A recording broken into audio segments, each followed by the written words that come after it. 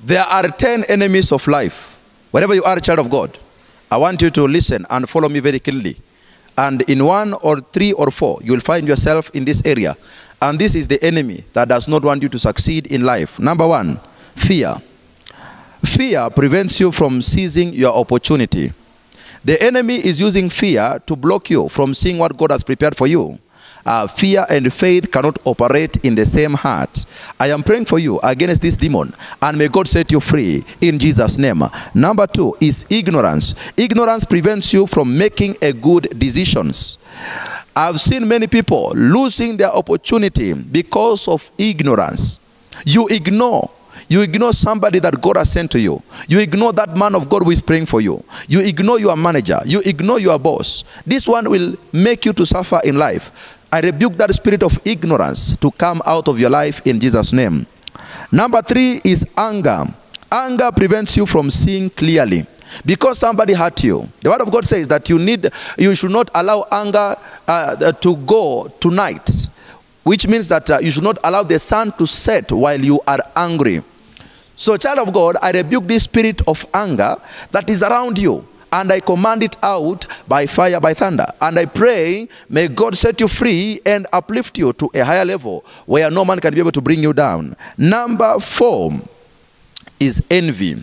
Envy prevents you from focusing on yourself. You take advantage of yourself. You mess around with your mind. You mess around with your body. You'll need to wake up and pray and rebuke such a spirit, and God will bless you. Number four is ego.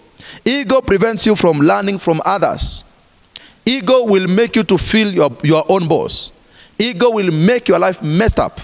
But as a child of God, I want to pray for you against this spirit of ego because ego has made a lot of family to suffer.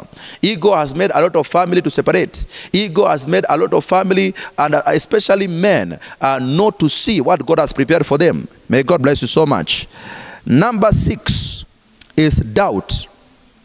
Doubt uh, prevent you from believing yourself and taking risk to follow your dreams. Many dreams are shattered. There are people who are dead in their graves with their vision, which was full of power, which was full of life. But because of doubt, they doubted themselves uh, and um, they did not uh, succeed or did not fulfill their destiny. I rebuke this spirit of doubt uh, and I command it out uh, in the mighty name of Jesus. And I am praying for you. Doubt will never be part of you in Jesus' name. Even when God wants to heal you or when God wants to open doors for you, if you are doubtful, if you are doubting the power of God, nothing will happen to you. That's why when you see Jesus uh, trying to heal somebody, he asked them, Do you believe? And they said yes. And when they say yes, uh, the, the, Jesus replied to them and say, Your faith has healed you. That means uh, if you have doubt, your healing will not come to pass. If you have doubt, your blessing will miss you. If you have doubt, your opportunity will miss you. God bless you. Number seven, hate. Hate prevents you from becoming a better person. You need to remove that hatred inside your heart. You need to remove that hatred. I'm talking to you on a personal level. I'm not talking to someone else. You that you are watching this video, you are the one that I'm talking to. I pray that this spirit of doubt will come out of your life and you leave a lot of breakthrough in Jesus' mighty name. This spirit of hatred uh, shall come out of your life and you'll be uh, full of victory in Jesus' name. Number eight unforgiveness. forgiveness prevent you from living as a free person. Because you did not forgive your parents, you are not free. Because you did not forgive your husband or your wife, you are not free. Because you did not forgive your friend who did hurt you, you are not free. You need to forgive so that you can have a free life and God will bless you and keep you.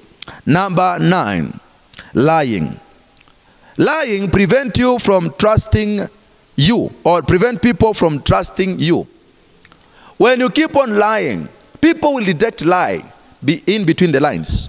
They will detect that you are saying lies. And it will prevent people from trusting you. That's why you see yourself, people rejecting you and running away from you. Sometimes you call yourself, you know, uh, I don't know who cast me. There is nobody who cast you. It is because of your lies. Please try to be truthful and God will bless you. Number 10, pride. Pride will prevent you from seeing and learning from your mistakes. Your mistakes. There are mistakes that uh, you have in your life. So, what you need to do is to overcome those prides. Don't be proud. And God will bless you and give you victory. Remember, it is pride that brought the devil or Satan from heaven. He was thrown to earth, he was demoted. You can be demoted because of your pride. And that's why, as a man of God, as a prophet of this generation, I am praying for you against these liabilities, these assets, and these demonic entities that are messing around with you. You need to be free from all these 10 uh, enemies of life, and God will keep you safe in Jesus' name. For prayers and uh, spiritual solution, you can contact me. The numbers are there on the screen. God bless you, and may God keep you. Amen.